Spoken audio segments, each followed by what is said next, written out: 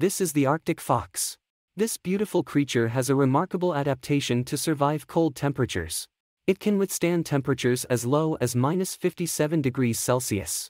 Adapted for survival in one of the harshest environments on Earth, the Arctic fox has developed an array of remarkable adaptations. Its most iconic adaptation is its thick double-layered coat. This magnificent creature's fur changes color with the seasons, offering perfect camouflage.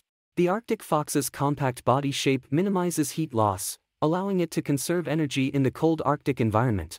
Its paws are covered with fur, acting as natural snowshoes, preventing it from sinking into the deep snow. Like and subscribe for more facts about animals.